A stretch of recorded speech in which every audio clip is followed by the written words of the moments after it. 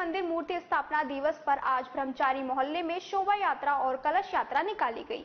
इस दौरान सैकड़ों की संख्या में महिलाएँ सर पर कलश लेकर निकली। यह शोभा यात्रा ब्रह्मचारी मोहल्ले से रवाना होकर शहर के मुख्य मार्गों से होती हुई वापस मंदिर पहुँची।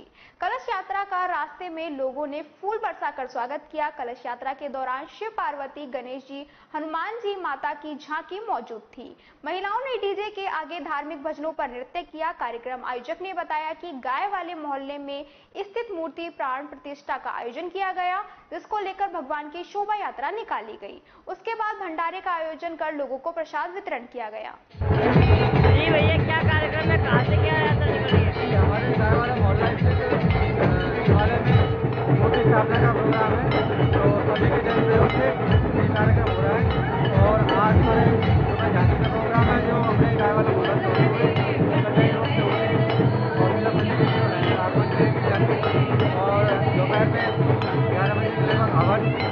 के बाद भंडारा है सभी के सहयोग से ये कार्यक्रम हो रहा है। यात्रा कहाँ से कहाँ तक निकलेगी? यात्रा हमारे गाय बोल रहे थे। केवाला मंदिर से की होती हुई कन्या रोड